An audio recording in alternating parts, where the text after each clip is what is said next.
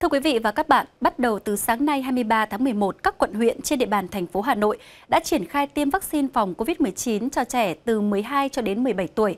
Việc tiêm chủng được tiến hành tại các trường học đối với trẻ em đang đi học và trạm y tế đối với trẻ em không đi học hoặc học trên địa bàn tỉnh, thành phố khác. Ghi nhận tại một số điểm tiêm và hầu hết trẻ em và phụ nữ đều có tâm lý thoải mái, mong muốn được tiêm vaccine để sớm được trở lại trường học. Tại trường Trung học phổ thông Khương Đình, quận Thanh Xuân, Hà Nội, ngay từ sáng sớm, các học sinh khối 10, 11, 12 đã đến điểm tiêm.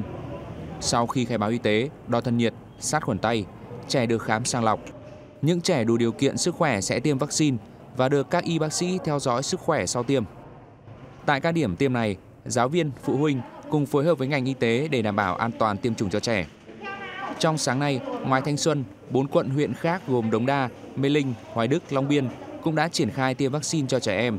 Các quận huyện còn lại của Hà Nội sẽ tổ chức tiêm chủng từ ngày mai 24 tháng 11. Đại diện Trung tâm Kiểm soát Bệnh tật thành phố Hà Nội cho biết, trong đợt này, thành phố sẽ sử dụng 304.140 liều vaccine Pfizer được phân bổ để thực hiện tiêm mũi 1 cho trẻ em từ 15 đến 17 tuổi.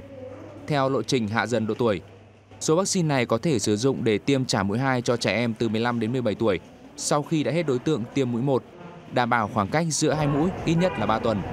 Dự kiến, từ nay đến hết quý 1 năm 2022, Hà Nội sẽ tiêm cho gần 800.000 học sinh từ 12 đến 17 tuổi.